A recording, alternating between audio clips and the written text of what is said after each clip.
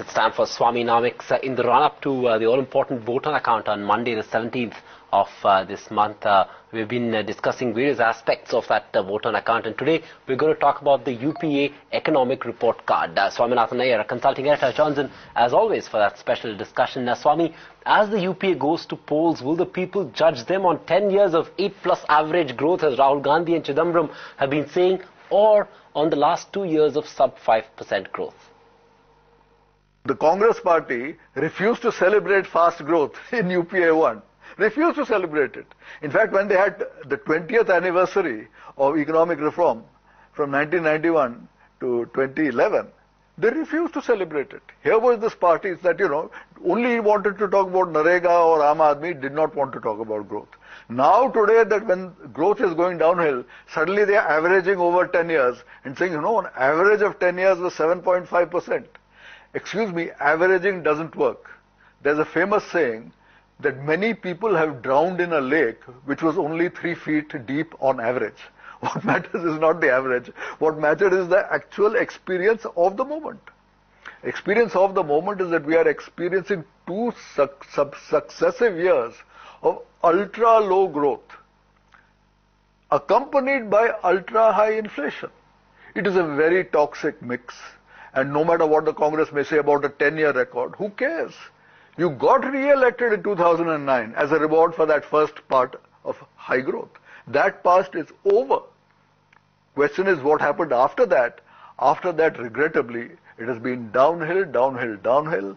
Uh, the Congress, I think, may well end up less than 100 seats, the lowest tally in its entire history, and it will be fully deserved.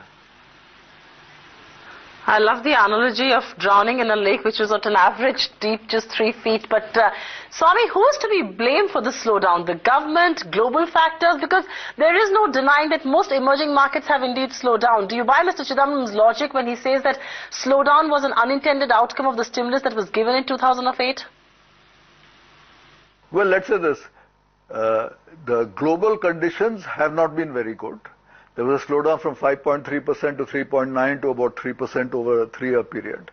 But, you know, the slowdown was not as catastrophic as the collapse in 2008-9.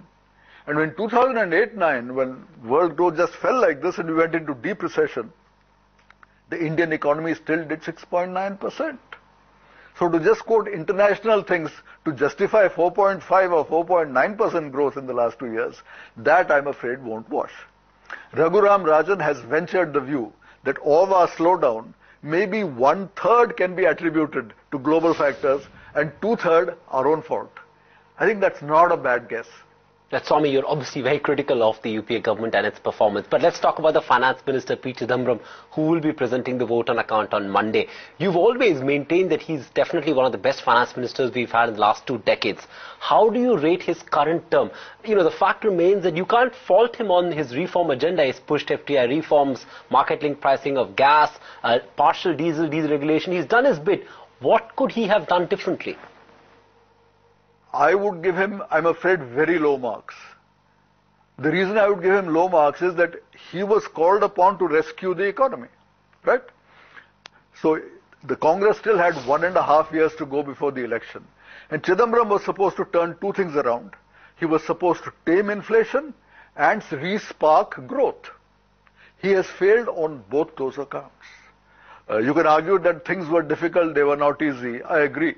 But still, at the end of it all, what you have to judge a person on is not intentions, is not even individual measures. The question is what was the actual outcome? Did he accelerate growth? Did he bring down inflation? Answer is no and no again. No, he didn't actually do any of that. But uh, Swami, if you were to write Mr. Chidambaram's vote on account speech that many believe may sound like his swan song, his farewell speech, what would your pitch be? Well, since I'm not Chidambaram, I'm not sure that Chidambaram would follow my advice. I would go out of my way to emphasize all that had gone wrong on policy in the last 10 years. You should have said, how is it that we started off on this brilliant wicket and how have we ended up in such a sorry mess? And these plainly are the reasons for it. We have neglected growth. We have got into the situation where we have created a jungle of controls, a new license permit Raj we have created. The only way we were getting through that earlier on was through corruption of various kinds. You paid your money and you got your permissions. Now that that's no longer possible, with the CAG, with Anna Hazare, with the new mood of the people, if you find that you can't bribe your way, the rules and regulations are such that the economy is coming to a halt. And that we need a thorough overhaul of all those rules and regulations. Will Chidambaram dare say that? Not a chance in a million. On the contrary, he will pretend. Once again, he will average over 10 years and say, you know, what a great job we've done. It will not pass muster with the public. It may pass muster with 10 Janpath. And that's the only audience ultimately he really cares about.